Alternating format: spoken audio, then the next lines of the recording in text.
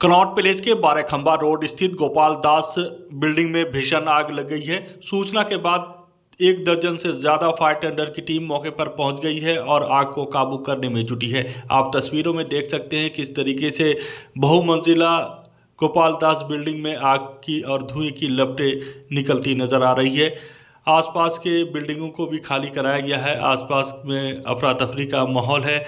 एक दर्जन से ज़्यादा फायर टेंडर को मौके पर भेजा गया है, जो आग को काबू करने में जुटी है। फ़िलहाल इस आग में किसी के हताहत होने की खबर नहीं है। आग कैसे लगी, इस बात का भी खुलासा नहीं हुआ है। आशंका जताई जा रही है कि शॉर्ट सर्किट की वजह से आग लगी है।